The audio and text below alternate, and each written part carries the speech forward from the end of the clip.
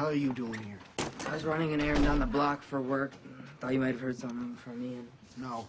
Oh, a PX4 storm. Don't touch it.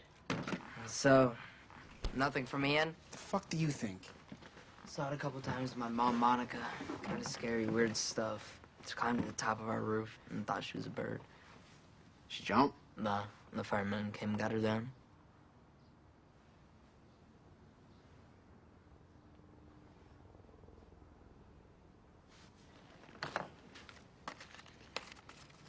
You want a beer? Sure. Are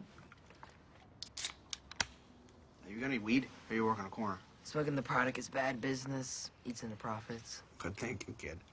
Might just make it out there. Not a white man's game anymore, though.